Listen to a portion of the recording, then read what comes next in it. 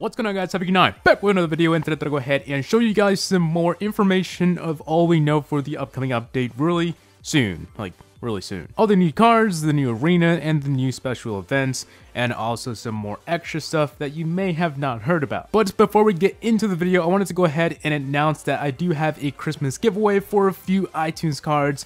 So if you guys do want to go ahead and enter, all you gotta do is like and comment below and you're answered. No BS about subscribing or sharing or any of that, just comment and like. Winners will be announced around Christmas time on Twitter, so make sure you do follow me on there, but if you don't have any Twitter, then you'll get a inbox on your YouTube account. So jumping right back into the update, we all know there are four cards, the Dart Goblin, the Executioner, Goblin Gang, ends the battle ram. If you guys do want to go ahead and see some gameplay of all the new cards in one video, I'll leave it right here in the top right corner. Along with the new cards, we have the Jungle Arena, which looks pretty sick and also has a rain effect.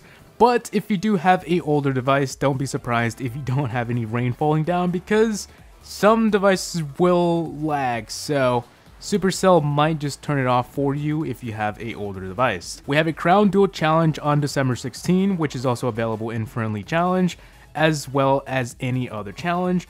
It will now be available in Friendly Challenges. We'll also have a Clan Chest event coming on December 19, which I have no idea what that is, but yeah, that's that. On December 23, we will get a Electro Wizard Challenge, which I'm assuming will also bring a new pack to buy, which will include the Electro Wizard himself and some gold or a random chest. Every Sunday we can now request 4 epic cards and only 4. We still can't really do legendaries, but epic is a step forward. But you won't be able to request again after the timer resets, only 4 rares and commons. Epic chest now gives more cards according to your arena, and the cost will be different. So for arena 9 or 10, it will cost 10,000 gold, and for Arena 3, it will only be 3000 gold. Also, a cool feature is that every time you spend your paycheck on a legendary, you will now have a jingle sound that lets you know that you're rich or now poor. The inbox will now get a redesign that includes News Royale, which is pretty much the same thing as a inbox, but just a different name. And finally, for the last thing, which was also in the thumbnail, chests will now have a summary and everything you got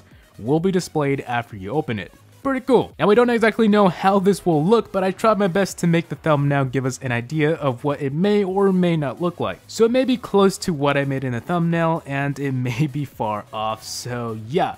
But that is pretty much it for all the information about this update. Of course, the first few cards we will be getting around January and also the new arenas, so we do have to wait about a month to get all these new things, which is kind of a tease. I mean, we see some new things and oh, it's gonna come in one month from now, so yeah, I don't really know about that. But anyways, that is pretty much it for all the information we do have. Again, if you want to enter the giveaway, all you gotta do is like and comment, and you're automatically entered. So anyways, please rate, comment, and subscribe for more videos. Tell me what you guys think below in the comment section if you like to. See you on the next one. Peace!